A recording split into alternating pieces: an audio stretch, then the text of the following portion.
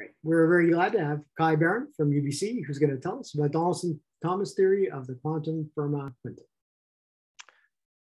Yes, so thanks. Uh, thanks very much for the invitation and giving me the opportunity to explain this work. So it's uh, joint work uh, with uh, two of my students, Yu-Hsiang Liu and Atsushi Kanazawa, and uh, you can, it's all, all up, written up in these arXiv papers there. And yeah. Okay, so so the quantum Fermat quintic. So what, what is it, first of all? So um, we start with quantum projective four space. Um, so that's the non-commutative graded algebra, um, which I've written down here. So this is P4 with a little q for quantum, and it's generated by, so this is the free algebra on five generators, zero to four. And um, these, these generators don't commute. Uh, so Ti times Tj is not Tj Ti, but up, they commute up to this uh, parameter here. So Q is a fixed fifth root of unity. And then, um, you know, we, so all these are also, the Nij are integers, so these are fifth roots of unity. So these, the, the coordinates commute up to fifth roots of unity. And in fact, um, just to fix uh, the formulas, um, so right, these, there's this matrix that, that uh, determines the commutation. And so here's the matrix. It's, I, I, can think of it as a five by five matrix with coefficients in the field of five elements. And, and here is like, like an example of such a matrix. um, so it has to be skew symmetric um, for you know reasons of that this makes sense. Um, and um, I should make the remark that this is, um, even though it doesn't really, it looks really special, but in some sense it's generic. You can do uh, all kinds of certain kinds of simple operations uh, to the situation and, and transform anything into this situation. I don't want to say more about that, just it, or just take it as an example. Anyway, so note that the, the ti to the five um, are central elements. So they commute with everything because of these being fifth roots of unity. And so um, if I look at the uh, this quantum, uh, sorry, the Fermat quintic equation, T0 to the fifth, all the way through T4 to the fifth, that's a central element in this, in this uh, quantum polynomial ring. And so it makes sense to divide by it. I, I get a graded ring or a graded C algebra. So I should think of this as like a, a, a hypersurface uh, in this quantum P4. So that's that's uh, the quantum Fermat quintic. So, so maybe as a, as a just to get uh, started as reality check. So I want to think of this as a geometric space, but there's like no uh, like, but we're just going to work completely with algebra and just kind of pretend. yeah. Of, so I'm gonna. Um, so the first thing I want to say um, uh, a bit about geometry here. So there is this whole theory of non-commutative projective schemes, which is uh, which is due to Artin and Zhang, and so they they they make this kind of thing more geometric. So if you have one of these graded C algebras like like S, um, yeah, they associate to to this um, uh, such a uh, graded C algebra what they call the proj of it, and the proj is a triple, um, a triple. So there's an abelian category, an object in the abelian category, and an auto equivalence. and so the main thing is this, you know, we associate the abelian category, which you should, which is going to be the analog of the um, category of coherent sheaves um, on a projective scheme. So in this case, you take like the category of tails of finitely generated graded modules over the ring. So you take the finitely generated graded modules and you um, say two of them are equal if they differ only in finitely many degrees. So that defines uh, this, this uh, I'm sorry, could, um, category. Could, could you do it um, just a little bit more basic thing? In the special case where the C algebra is commutative, this triple should be something I can read off from the usual proj. Yep. Could you yes, remind me how to do that? So um, so uh, coherent sheaves on a projective scheme, you can think of them as modules over the graded ring. where you identify two modules if if they eventually agree in high enough degrees, or they, you know, the difference between two modules is only in finitely many degrees. So that's, um, and then. Um, and, and, to move up early in your slide, um, the uh, um, in the in the commutative case, the object is at O of one. So the object, um, so if I start with this ring S, the object S itself defines ah. the structure sheaf. And, right? and then so, the autoequivalence um, is tensoring with O of one. Yes. Thanks. Exactly. So um,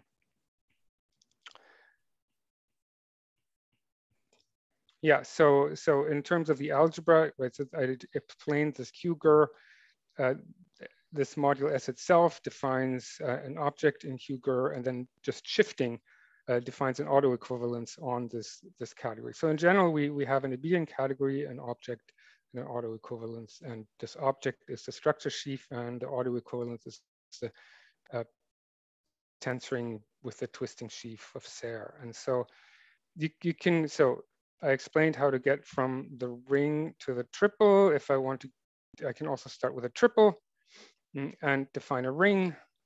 So that's the direct sum over all n of the Hom in the in the abelian category from the chosen object to uh, the chosen object um, shifted. So you know I apply this auto equivalence n times. I take the direct sum um, and I can define a multiplication by that. So the multiplication is essentially the composition of homomorphisms, except for to be able to compose them, I have to twist the second one by the degree of the first one. And of course, you can convince yourself that in the commutative case, in the commutative case, uh, if you have a the coherent sheaves on a projective variety, the structure sheaf and the the um, the polarization that you get uh, homogeneous coordinate ring. And so the Artin and Zhang have this whole theory uh, so that if you have enough conditions on S on the graded ring and enough conditions on the triple, you this is even an equivalence of categories between these graded algebras and these triples, except for on the graded algebra side, um, you know, two of them, you'd have to identify two of them again if they differ by a finite module Um, okay, so first theorem, um, so by Kanazawa. So for this quantum Fermat quintic, and this is in fact for any um, matrix of commuting conditions, um, this, this abelian category Q GER Q um, satisfies these conditions. It has global dimension three, and it is a Calabi-Yau three category um, if and only if uh, this particular vector here is an eigenvector of that matrix. So that's some kind of technical condition. Um, what do these two conditions mean? So the first condition, um, global dimension three, means that um, the all the Ext groups vanish um, for the index bigger than three.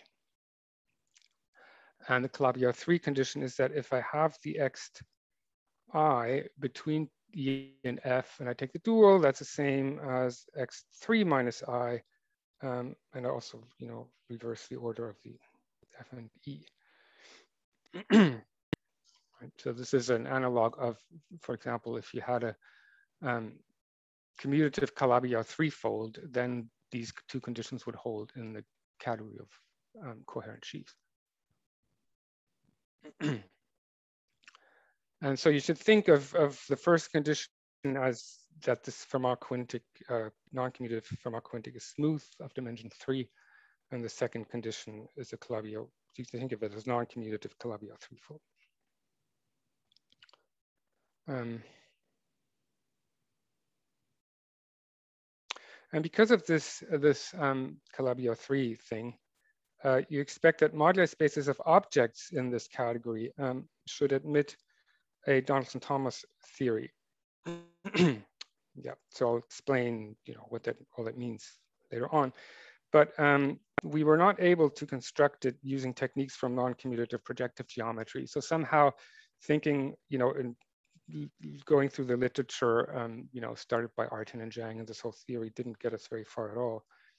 Um, so instead, um, let's talk about sheaves of Frobenius algebras. And it all depends on the fact that Q So Q is my shorthand notation for this quantum Fermat-Quintic, this algebra, um, the twisted homogeneous coordinate ring divided by the, the, the um, Fermat equation. This um, has a central subalgebra over which it is finite. The central algebra is of course going to be commutative. So really this thing is not so far from being commutative itself. So let me explain that. And so here's um, here's uh, Q. Here's our non-commutative um, quintic, right? so if uh, I already mentioned that the fifth powers of the coordinates are central. So if I take the subalgebra generated by the fifth powers um, of the coordinates, that's a commutative subalgebra. And these, these things commute, and so that's just a polynomial ring in these, in these uh, five generators. Mm -hmm. And um, right here's the equation that they have to satisfy. So, so now I'm just going to call the, the fifth powers of these ti, I'm going to call them xi. So, so this is a poly, polynomial ring um, in five variables, so that's usual P4, commutative P4. And the equation there is just this equation of a hyperplane. Right, and so so this this commutative story is, is a hyperplane uh, in P4, so it's P3. So this is this is basically a, just a P3, and so this is an algebra over this subalgebra. And so we can construct from this a locally free sheaf of algebras over this, this OX. And it's going to turn out to have rank 625. Um, if you wanted to, uh, yeah, so I guess I have to tell you a bit about the structure of this algebra here.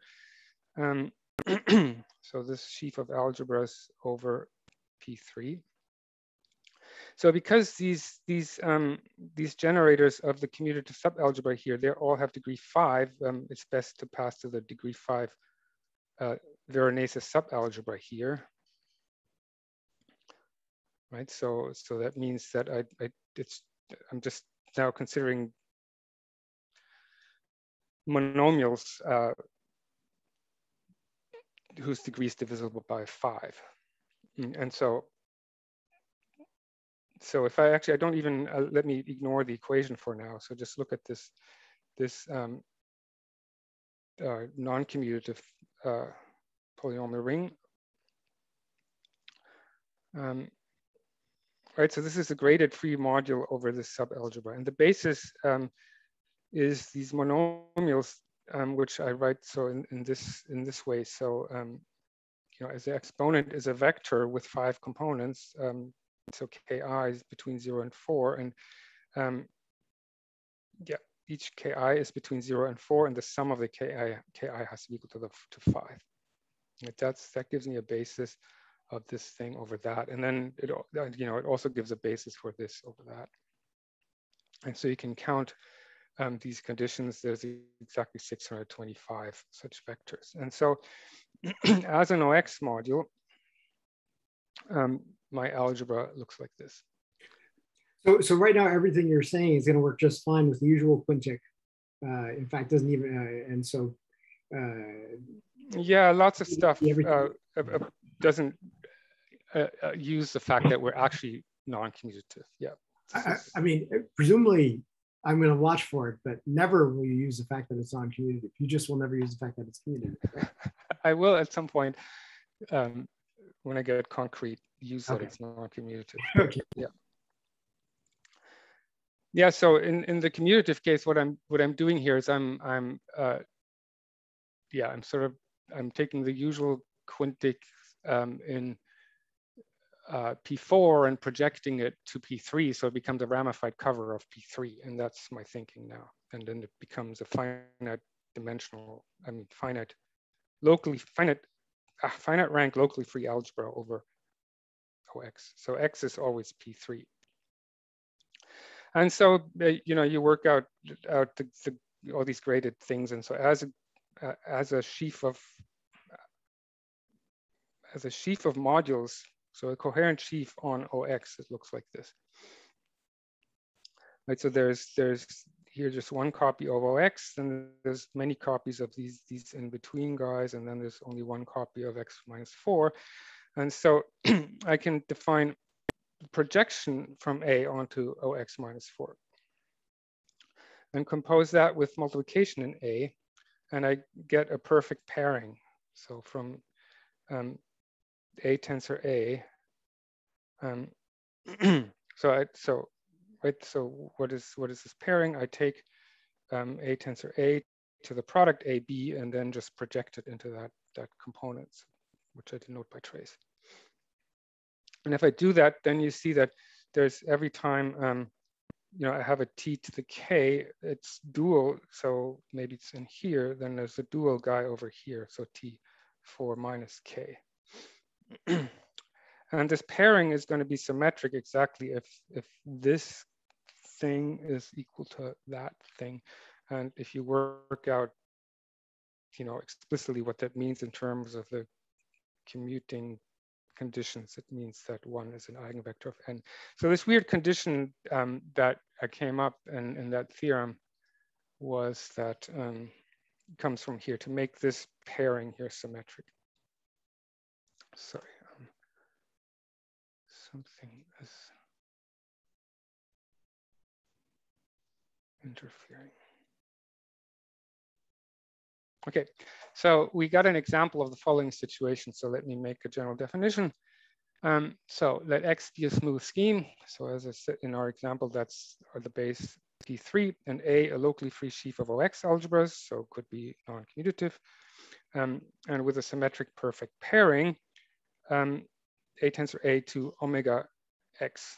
So that's the dualizing sheaf of X. You know, I should have pointed out, that's of course the main thing here that OX minus four is a dualizing sheaf of X because X is P3.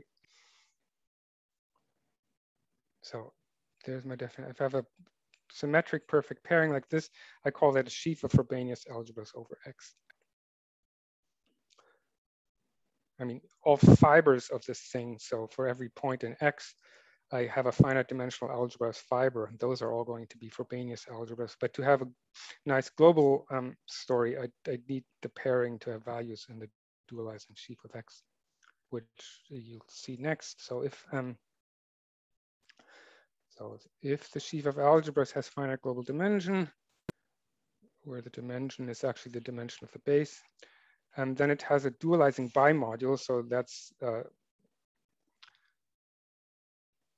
that's, uh, I mean, yeah, if you're familiar with, um, so if you have a finite cover and you want to construct the dualizing sheaf on a finite cover, um, this is, you always use this formula to take the dualizing sheaf on the base and then you do, do HOM OX from the structure sheaf of the finite cover into omega x. That's, it works the same way in the non-commutative case.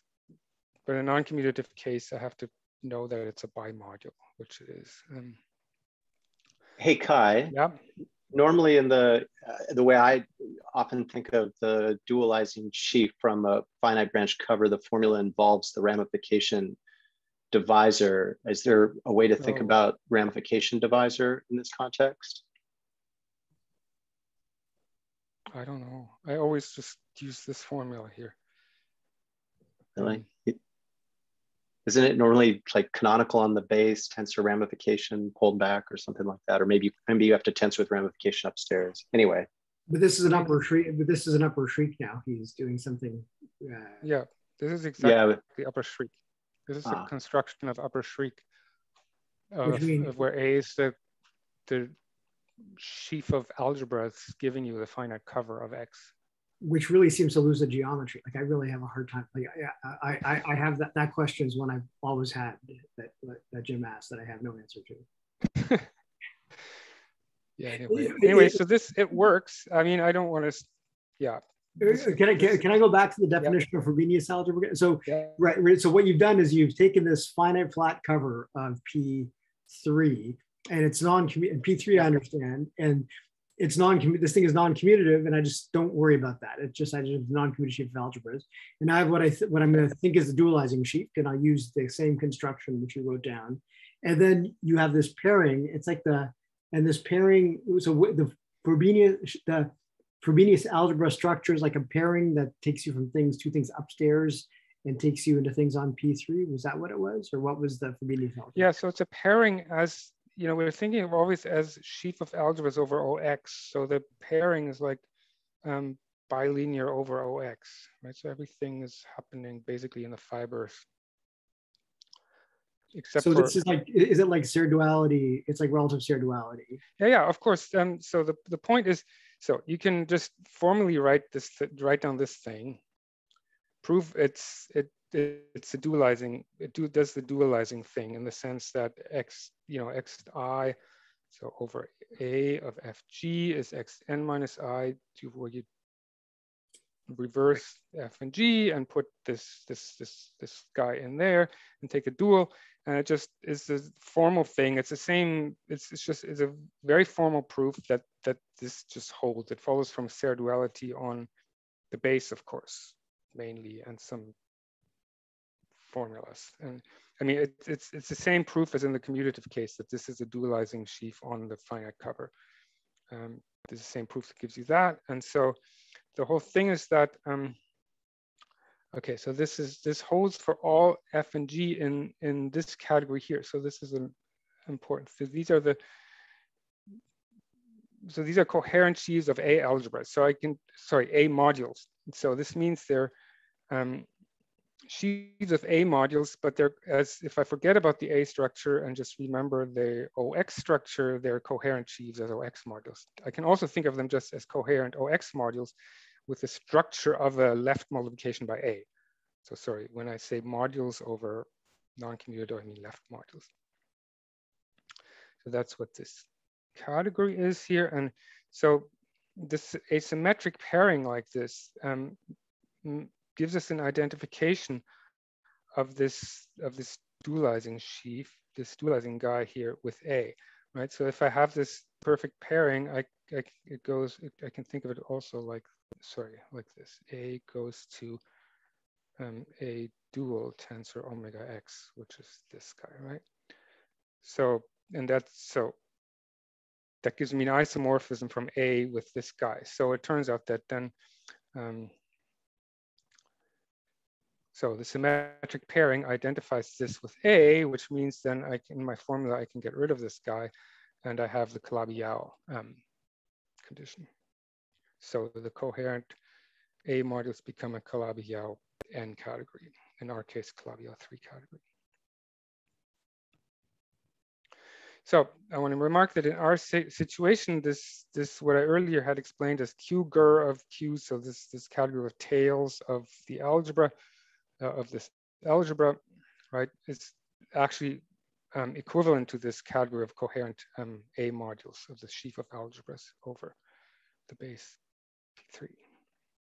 That's not hard to prove. So in, instead of trying to um, study objects, moduli of objects here, we study objects here, which is much simpler because we're basically in a commutative situation with only a finite, relatively finite non-commutative situation.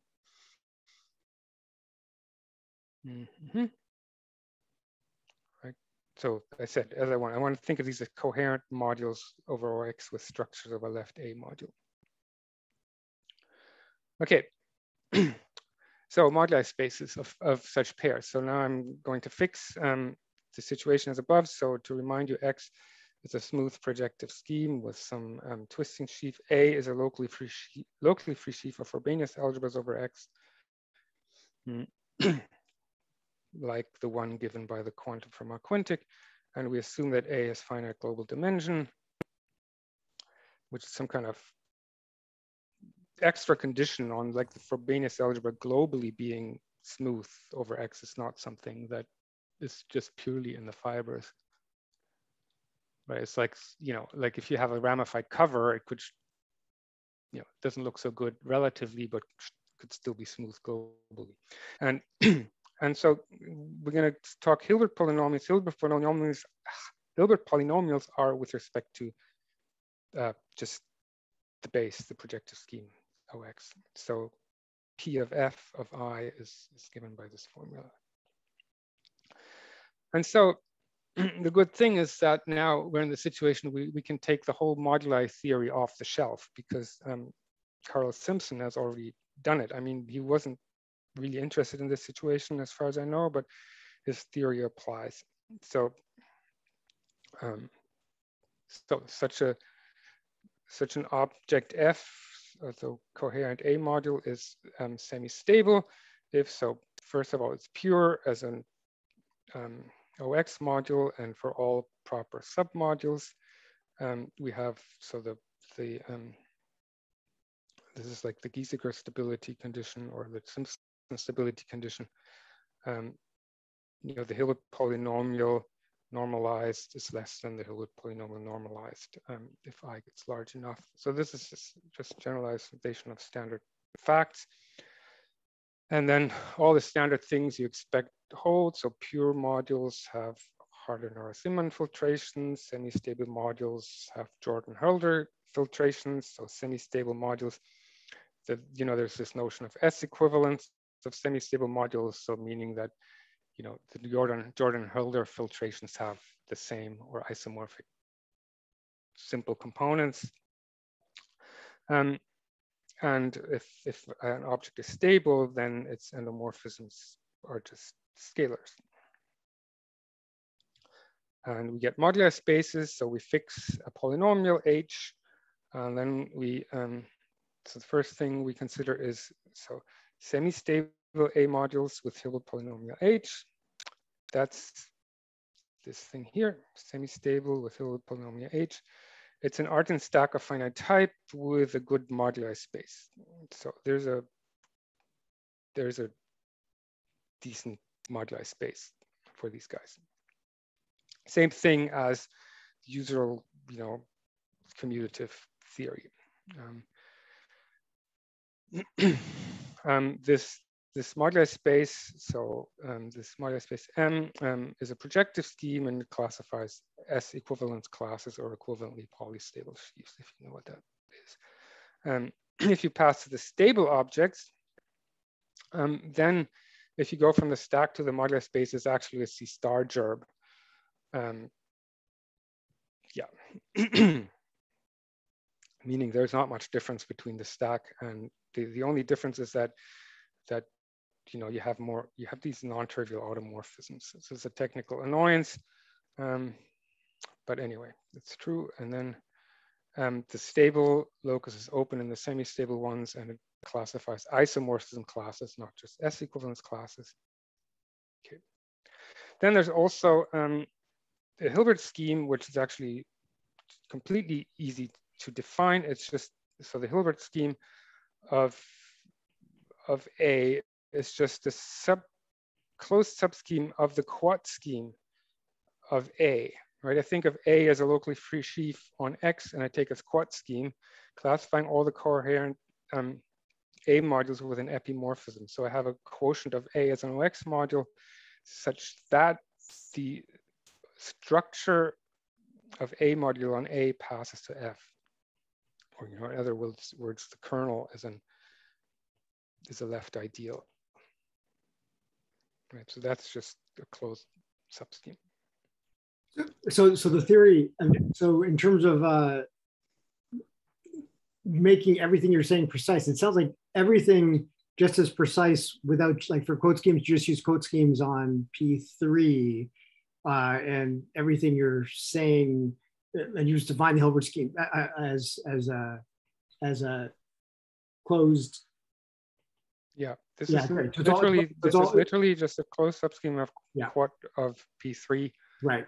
I mean, quotients of that 625 rank locally free yeah. sheaf on P3, um, or the quotients of that that are compatible with the left A module structure. Great.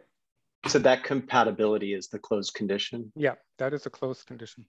Got it um, as I said, it's just the condition that the kernel is a left submodule of A, which is just a bunch of equations and it's a closed subscheme. So, so for this guy, you don't have to do any further construction. You don't have to quote um, Simpson, but for the, the general guys, you want to quote Simpson. and like in classical Donaldson Thomas theory, there there's this thing that that we we we often are interested in the Hilbert scheme. So we, we're interested in subschemes of our Fermat quintic, zero-dimensional, one-dimensional subschemes. Uh, but really, we want to think of them as sheaves and, and use the, the deformation theory as sheaves and, the think of the moduli space of sheaves. So we really want a, a, a map from the Hilbert scheme to this moduli space of stable sheaves. And so the way we do that, so we have an epimorphism uh, from A to F, we pass to the kernel. Uh, and think of that as a sheaf in its own right, forgetting about its embedding into A. And so I do that because the Hilbert scheme is easier to handle, but this other guy over here has better deformation theory. and so then there's some technical conditions under which we can prove that this uh, first guy is just a bunch of connected components of the second guy. So um, let me um, just sort of gloss over this a bit. So one condition is that generically, so over the generic point, this is the function field of the base, the function field of P3. If I pass to the generic point, I just have an algebra over this field. And if that algebra over that field is a division ring, um, right, then you then uh, you can easily see that that this guy always, this kernel always ends up being stable. And if you have another condition here on H1 of X with values in A being zero, then you can prove some deformation theory that it's an open immersion. So you get a, you get a morphism from the first condition, it's an open immersion from this condition. So it's, but then of course the Hilbert scheme is proper. So if it's open subscheme, but it's proper, then it just has to be a bunch of components of this. So the Hilbert scheme is a union of connected components of the corresponding uh, moduli space of stable sheaves under these conditions. So there's a commutative analog that the Hilbert scheme XA um, is a modulus space of torsion-free rank one sheaves with trivial determinant. But we don't have determinant, we don't, we just yeah. yeah, whatever. Okay, so Donaldson-Thomas uh, theory for pairs XA. Right, so now we got the moduli spaces. Now we have to define numerical numbers out of them. So again, here's my setup, smooth projective base, locally free sheaf of Frobenius algebras. Um, and so Liu um, proves that um, this uh, moduli space of stable um, of stable coherent A modules carries a symmetric obstruction theory. Symmetric obstruction theory implies that it's perfect of virtual dimension zero. So I'm sorry, I'm using all these words. Um, if you're not familiar with them, I don't know. Anyway, can't really help you.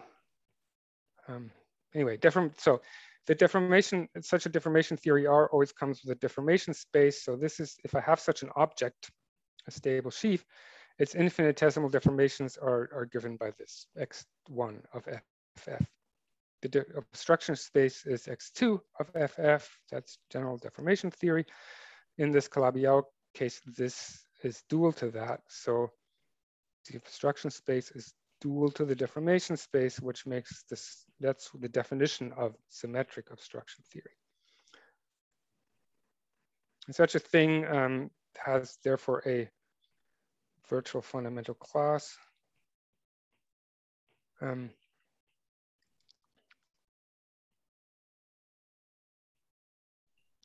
yeah, um, and because of this, this, this, this obstructions and deformations being dual to each other, the virtual dimension is zero, right? Which would be this dimension of this minus that zero. So I get a zero, uh, zero degree element. Ah, so one thing, one thing you snuck by me without me really noticing was that all these moduli spaces are commutative. Like we're all we're in a ha- we're we're still in our happy world. I mean, the, the space for studying. Yeah, no, the the moduli spaces are class are are all commutative things. Yes. I don't think we no, we don't know. Yeah, even though the, yeah. Yeah, yeah, sorry. Yeah, that's just, yeah, we don't, yeah, so we're back in the commutative world here. I don't know, there's some remarks here why, um, you know, if you want to construct this obstruction theory, um, you think you might need a the universal bundle. I mean, you kind of, the, the gerbe gets in your way um, a bit, but um, there's a reason why it doesn't get in your way. So I, I guess um, I, I, think ghosting behind Ravi's question, um, if I think about the, the more general theory, um, should I always expect a moduli space of sheaves on a non-commutative scheme to be um, a commutative scheme? Yeah, I mean, uh, in the end, I'm just interested in some uh, objects in some abelian category. I mean, I, I use this non-commutative situation to get at, to define the abelian category of coherent A modules, which are coherent OX modules with some non-commutative operators on them. But once I have that, when I study moduli of, moduli of objects in an abelian category, my modular spaces are, um, I'm only interested in commutative moduli spaces. Okay, thanks. And, and um, just to make sure I understand, so you're only interested in them, um, but would you make the stronger statement that you shouldn't expect there to be a rich theory of non-commutative moduli spaces or? Well, I, will go as far as saying that they're derived moduli spaces, um, but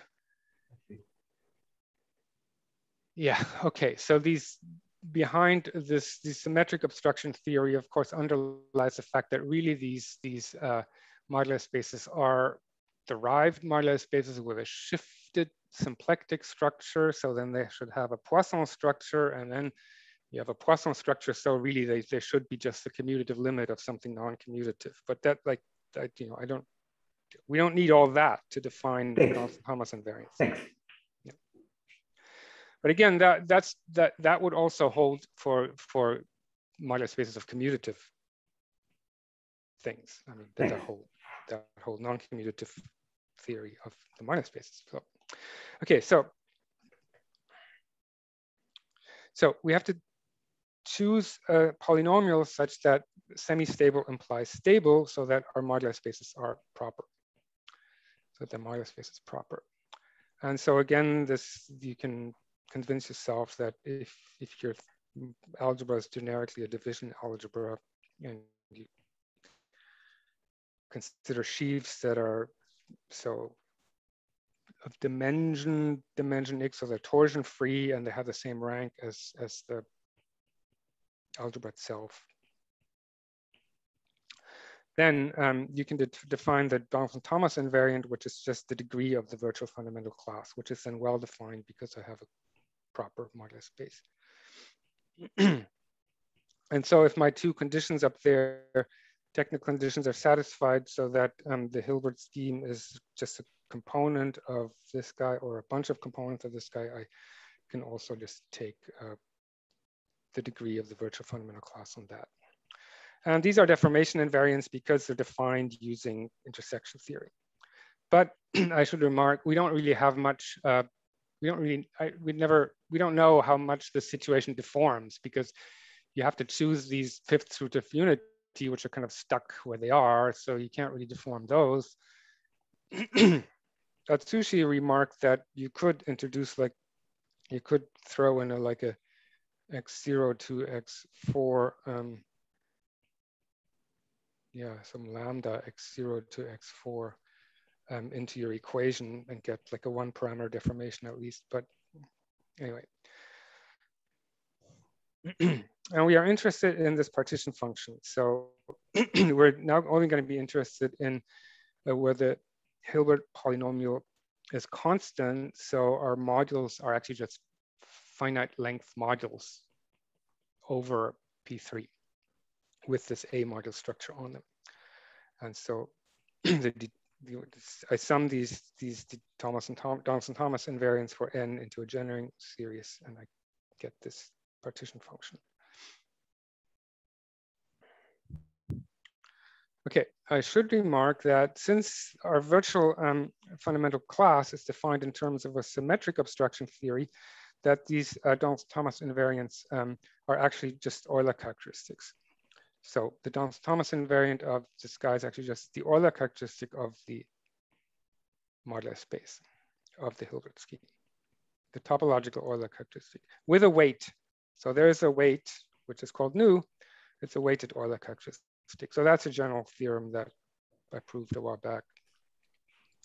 So nu is a generalized Milnor number. Um, it's an integer invariant of a singularity or a germ of an analytic space. So anytime I have a germ of an analytic space, I have an integer, which is nu. Come on, Kai, call it by its proper name. No, it's, it's so here are some properties of it. So it's a constructible function, which means it's constant on strata, strata of a stratification. If X happens to be the critical locus of a holomorphic function of a smooth complex manifold, then it's, it's like this. Then it's just uh, basically the Euler characteristic of the Milnor fiber. Um, and if X, uh, sorry, if this smooth manifold on which this holomorphic function is defined admits a C star action where the P is an isolated fixed point and F is homogeneous, then it's just uh, up, you know, minus dim. So it's just, just plus or minus one depending on the dimension of the Zariski tangent space of your space you're interested in. So we can compute this DT invariant as a weighted Euler characteristic. This is like, yeah. Okay, um, how far along am I here?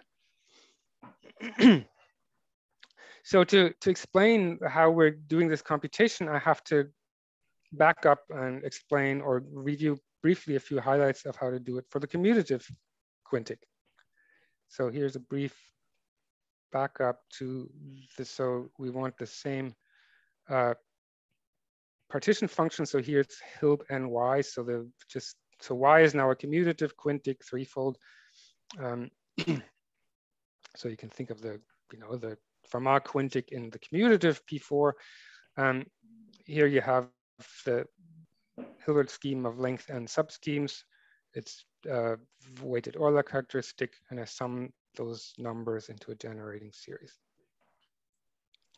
It all depends on the punctual Hilbert scheme that you can do this calculation. So what's the punctual Hilbert scheme?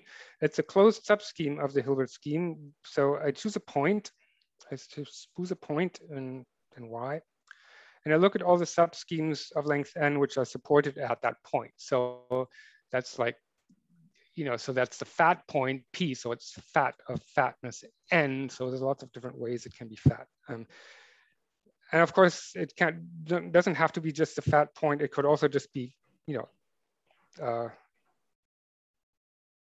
no, no, sorry, punctual Hilbert scheme.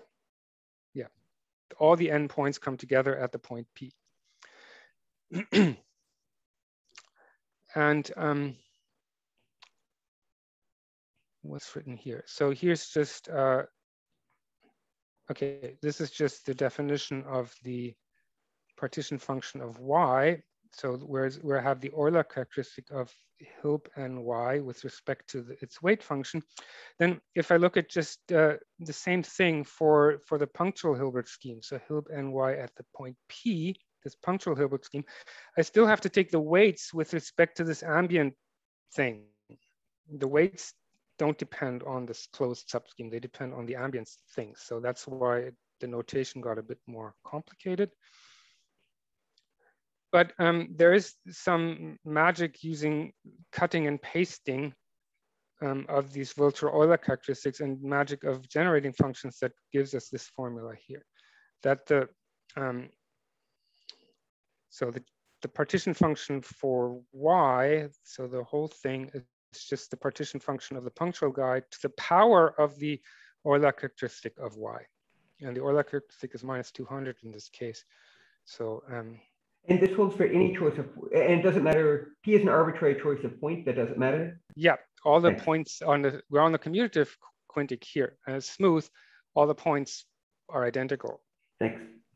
That's gonna be different in the non-commutative case. So um, can I, sorry, Kai, can I just make a quick yeah. sort of question slash comment. I mean, this this move here is really using the the map from the Hilbert scheme to the symmetric product. So it's it's really using the um, Hilbert-Chow morphism. You're pushing forward the Euler characteristic measure, and then you're using fact that symmetric products, you know, in the in the Grothendieck group uh, motives have the have these magic properties, right? Yes, so I was just I, my next words were going to be ask Jim if you want to know how to prove this.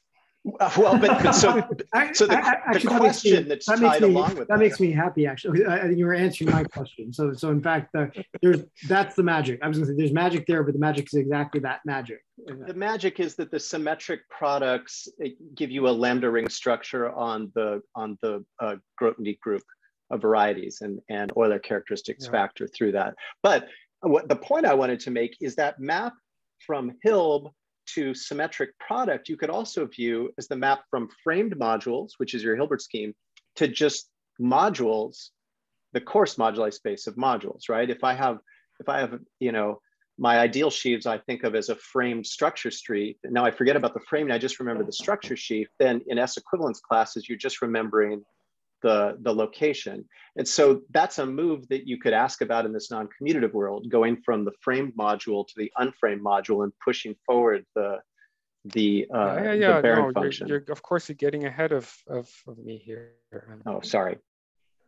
Anyway, so I just wanted to, that question about um, about all points being equal. So if I have an arbitrary point P on my commutative Calabi-Yau threefold Y, um, so its punctual Hilbert scheme inside the whole Hilbert scheme is exactly the same as the punctual Hilbert scheme of the origin in of C3 and the Hilbert scheme of C3.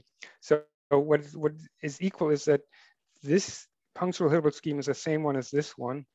And a whole neighborhood of this one in here is isomorphic to a whole neighborhood of this one in here. So I summarize that by saying that the germ of this closed subscheme inside here is isomorphic to the germ of this guy in here. And so I've replaced the arbitrary point in Y with the specific point zero in C3. So they're all the same. And um, right, so because of these germs being equal, these weighted Euler characteristics are equal. Right? Because the Euler characteristic of this is the same, and then the weights are the same because the weights depend only on the germ. So I get that formula.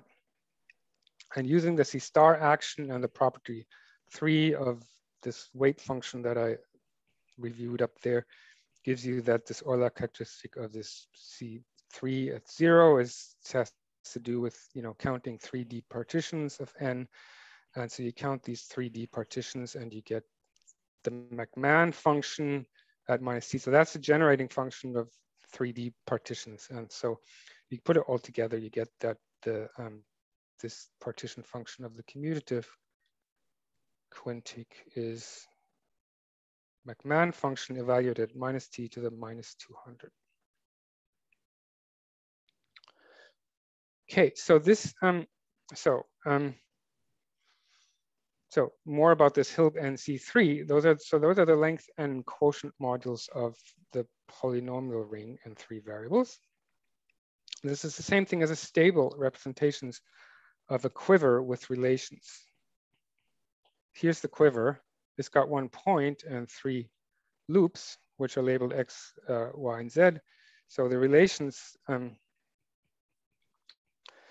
so, so if I look at this quiver, the path algebra of this quiver is, is um, the free algebra on these three generators, X, Y, and Z. So it's tensor algebra.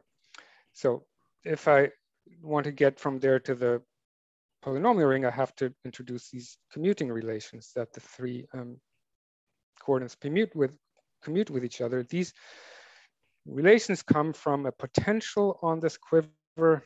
This is the potential on that quiver. And so um, we have a dimension vector um, is n, so that says we want um, you know representations of the quiver where this vector space on that vertex has dimension n, and there's a framing vector um, um, corresponding to the fact that your quotient, yeah, we're looking at quotient, not just modules by themselves, but quotients of this guy. Um, so that's the Hilbert scheme NC3, and then the punctual guy origin is the nilpotent representation. So those are all representations where if I just commute, just compose often enough, the three, these three matrices, I get zero. because these three, um, the x, y, and z, so acting, you know, on this on this module, are the coordinates of the module. And so if the coordinates are zero, that corresponds to nilpotent matrix. I mean, the eigen values of those matrices are the coordinates. And if they're zero, the matrices are nilpotent. and of course, uh, really this quiver is, um, how do you, so how do you get this quiver? The quiver is the Ext quiver of the simple object. So I, I look at just the skyscraper sheaf at the point P, which is a coherent sheaf on OY. And it's also a simple object. And so I, there's this, okay, so there's, let me just briefly explain this Ext quiver. So there's one vertex of the quiver because I have one, just I'm considering one simple object. And then I look at the Ext1 of this S with itself, the space of extensions, um, dual, right? So that's the three-dimensional space which uh, basis gives you corresponds to coordinates of on y near p. And the arrows of this um, Ext quiver always give come from a basis, are given by a basis of Ext1. So the path algebra is a free algebra on on this uh, three-dimensional uh, vector just space. Just a second. Yep. Sorry, ignore me.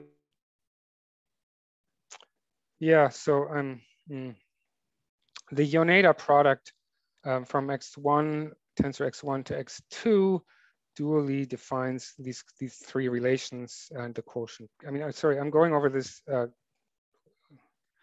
too fast, but anyway, I just want to, what I'm, what are you supposed to get out of this? That there's a way to get um, at the quiver.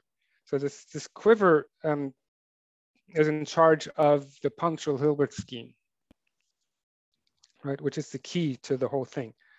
Um, and this quiver comes just by looking at the simple object and, and it, it's, it's Yoneda algebra of extensions. So the Ext algebra. Right.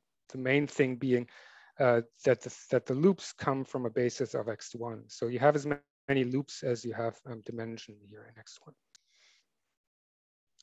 So now um, I, I, need to, of course, get to the, the non-commutative quintic. So there. Um, Kai, did you really want O sub p to the n, like a direct sum of n copies of O sub p to get the quiver you want? No, I just want one. Um, the direct copies I'm, I'm taking care of by taking a dimension vector n. But this algebra, the the the what is the what is the vector? So the, the quiver, vector space. So the, the al the Ext algebra, the whole Ext Ext algebra um, is the um, alternating algebra on a three-dimensional vector space. Hmm. And you okay. get like the Koszul dual to that is the polynomial ring, and that gives you local description of the of the quintic. Anyway, I, I need to say a few words okay. of this before my time runs out. So we're only interested in the zero dimensional, uh, so finite length modules, which even if I forget about the A structure just over X over P3, that's just a finite length module. So these are all localized, you know, in X. So I can pass to a affine open in X. So I can I can study things locally on on on this hyperplane in P4. So I'm going to do this by setting the first coordinate equal to one, and then, um, you know, I get these inhomogeneous coordinates out of the homogeneous coordinates by this formula.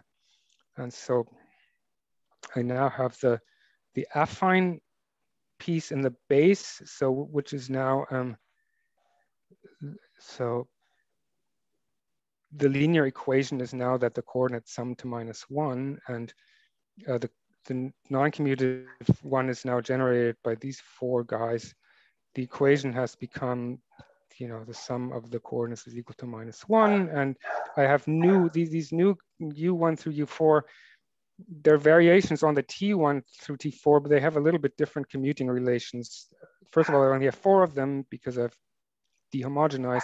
And so now the made the commuting things are are governed by this four by four matrix, which I computed, which is straightforward to compute, convince yourself. And so let's first look at the point modules. So point modules is where n is equal to one. So that's where the underlying OX module just has length one. So those are representations of this algebra here um, on just the one-dimensional vector space C. So uh, these, these guys, U1 through U4, have to act on the module. And so if they act on C, they just become numbers. So I have numbers, U1 through U4. U1 through U4 turn into numbers. Numbers, of course, commute, but then I also have these non-trivial commuting relations. And if they commute and, no, and non-trivially non-commute, this is only possible if, if uh, at most one of these coordinates is non-zero. All have to be zero except for one. Then that thing's possible. So at most one of these U134 is non-zero. So let's say um, U2, U3, U4 are zero and U1 is not zero. So U1 is not zero, but U1, mm, you know, if these guys are all zero, then U1 to the fifth has to be equal to minus one. So U1 is a, can be written like this. So it has five choices. It has, you know, it's, it's the negative of a fifth root of unity. So that means I have five point modules corresponding to these five options here. Five point modules all supported over this point of x, which has homogeneous coordinates one minus one zero zero zero. Right? I had set the first guy equal to one by dehomogenizing, and then the second guy was minus one because um, well, the coordinates all have to add up to zero. That's the definition of the hyperplane in P4. And these guys all have to be zero. So they're all supported here. So there's there's so there's in this case, so there's there's over the, these points, there's five simple modules, not just one, like in the commutative case. And of course, there's how many of such points are there? Well, I, there's five coordinates and three of them have to be zero, so that's 10 of them. There's 10 such points in the base. So altogether, I have 50 point modules. Right, over each of these 10 points, I have five, that's 50 altogether. So there's 50 point modules over my quantum Fermat quintic. So that's I've now actually computed one of these DT invariants, namely HILB 1 to be 50. And it's an actual count of 50 points. In contrast with a commutative case, this was like the negative Euler characteristic of the quintic, which is 200. And so, yeah. Okay, so, um, okay, so my time is up. So um, that's, I guess I'll have to go briefly over this. And so, mm, so, you know, if we fix one of these special points in the base, and then I have look at my five simple modules that are located on top of that, um, I should, the quiver that describes what's going on at this point, so the punctual Hilbert scheme, the quiver um, should be the Ext quiver of the direct sum of these five things. So, um, so here's that quiver. So there's um, S0, S1, S2, S3, S4. Those are the five simple modules. And then you can compute when, when you can have extensions between them. And you see that, so yeah, yeah, if I had more time, I could explain that. But so these are various extensions you get it's, it's kind of amusing that this is a um, degree five cover of the of the commutative quiver.